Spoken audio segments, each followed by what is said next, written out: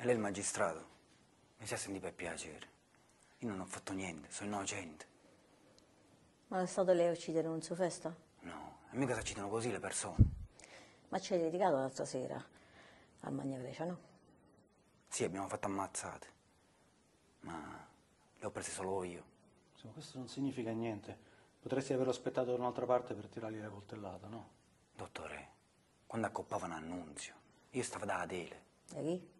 Adele Cammarota, la proprietaria del negozio di vestiti da uomo del corso. Ancora con questa storia. Ho già fatto interrogare la signora Cammarota da uno dei miei uomini. Dice che ha dormito a casa del padre e l'amoroso non l'ha proprio visto. Bugiarda, non è così. Intanto guardi che abbiamo trovato sul suo furgone.